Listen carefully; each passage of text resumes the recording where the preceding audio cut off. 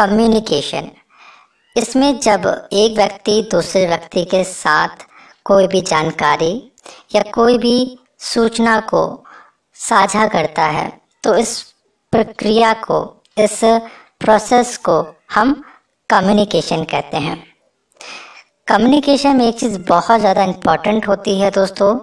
वो ये होती है कि जब हम अपनी बात को दूसरों तक पहुँचा रहे हैं या दूसरों को बता रहे हैं कोई भी जानकारी तो वह दूसरा जो पर्सन है, जो हमारी बात को सुन रहा है, वो उस बात को उसी तरीके से सही सेंस में समझ सके। तो उस तरह से जो कम्युनिकेशन है दोस्तों, वो एक लैटिन वर्ड कम्युनिकेर और कम्युनिस्ट से आया है।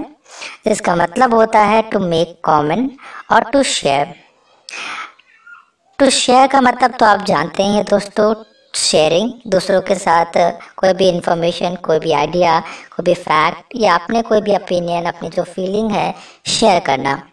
और टू मेक कॉमन का मतलब भी दोस्तों, वही है। मान लीजिए आपके पास कोई भी जानकारी है, वो जानकारी आपने दूसरे पर्सन को बता दी तो आप में और अब दूसरे पर्सन में एक कॉमन चीज़ हो गई, वो जानकारी, वो बात।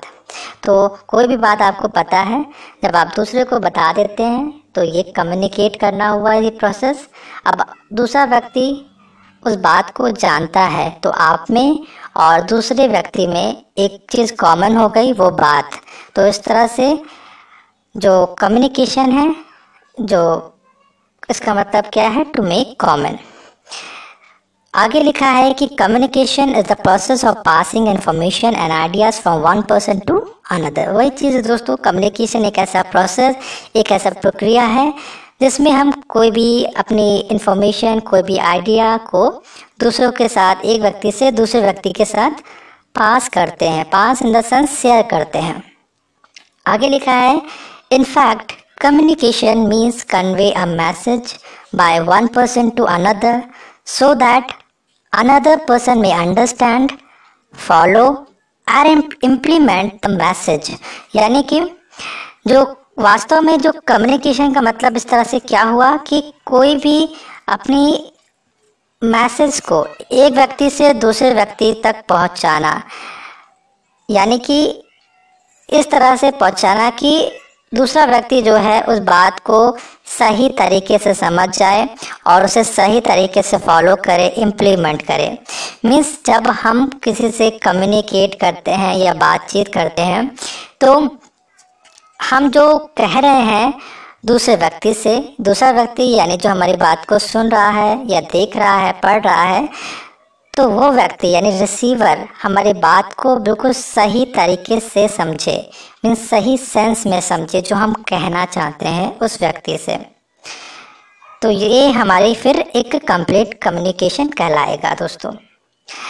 इस तरह से if one person is unable to follow the message of another it can not be called as communication यानी कि यहाँ पर लिखा है कि अगर एक व्यक्ति दूसरे व्यक्ति की बात को समझने में या फॉलो करने में थोड़ा सा अनेबल है, यानी असमर्थ है, यानी वो समझ नहीं पा रहा है कि दूसरा व्यक्ति क्या कहना चाह रहा है, तब ये एक कंप्लीट कम्युनिकेशन नहीं कहलाएगी।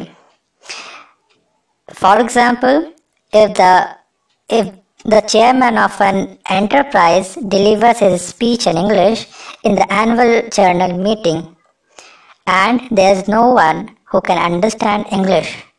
It cannot be called communication. यानी कि दोस्तों यहाँ पर एक एग्ज़ाम्पल भी लिया गया है कि एक चेयरमैन है किसी भी एंटरप्राइज किसी भी कंपनी का जिन्होंने अपने स्पीच जो है वो एक कोई मीटिंग उन्होंने रखी एनुअल जनरल मीटिंग में जो स्पीच दी है, वो इंग्लिश में ही दी है सब कुछ। सब कुछ उन्होंने इंग्लिश में ही बोला है।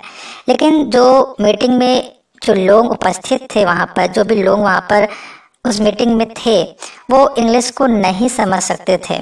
वहाँ पर कोई भी व्यक्ति नहीं था जो इंग्लिश को समझ सकता था अच्छे से। लेकिन जो चेयरमैन थे, उन्होंने पूरी स्पीच इंग्लिश में ही दी। तो आप मुझे बताइए दोस्तों, क्या उनमें से कोई भी व्यक्ति उनकी बात को समझ पाया होगा सही से? शायद नहीं, क्योंकि वहाँ पर कोई भी व्यक्ति इंग्लिश को समझ ही नहीं पा रहा था। किसी को इंग्लिश उतनी अच्छी तरह से, तरीके से नहीं आती थी कि वो इंग्लिश को समझ सके, लेकिन चेयरमैन ने पूरा इंग्लिश में ही सब कुछ बताया, समझाया। तो इस तरह से ये कंप्लीट कम्युनिकेशन यहाँ पर नहीं कहलाई है। तो अगर हम अपनी बात को दूसरों तक पहुँचाने में सफल हो जाते हैं तब ये एक कंप्लीट कम्युनिकेशन कहलाती है। आगे देखते हैं दोस्तों, कुछ डेफिनेशंस को, कुछ स्कॉलर्स के द्वारा बताई गई हैं जो कि according to J G Brown communication is transfer of information from one person to another यानी कि जो कम्युनिकेशन है, वो एक पर्सन से दूसरे पर्सन तक कोई भी जानकारी को ट्रांसफ़र करना, यानी कि कोई भी जानकारी का आदान प्रदान करना है। वेदर और नॉट इट इलिसिट कॉन्फिडेंस यानी कि चाहे वह बात या वो इंफॉर्मेशन विश्वास दिलाए या ना दिलाए। But that the information transfer must be understandable to the receiver यानी कि वो बात बताई जा रही है, वो बात अंडरस्टैंडेबल यानी कि समझने, समझ में आने वाली बात होनी चाहिए। यानी कि जो बात, जो भी इंफॉर्मेशन एक व्यक्ति से दूसरे व्यक्ति तक शेयर की जा रही है, वो बात दूसरा व्यक्ति यानी रिसीवर आसानी से समझ सके।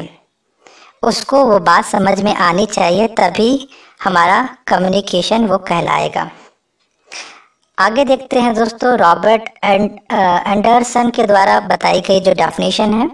इनके अकॉर्डिंग बताया गया है कि communication is interchange of thoughts opinions और इंफॉर्मेशन बाय स्पीच राइटिंग और साइंस यानी कि ये बता रहे हैं कि कम्युनिकेशन क्या है?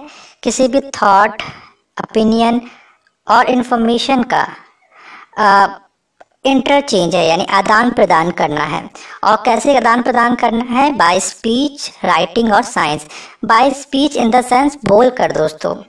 और राइटिंग का मतलब लिख कर और साइंस का मतलब किसी भी चिन्हों के द्वारा अपनी बात को समझाना।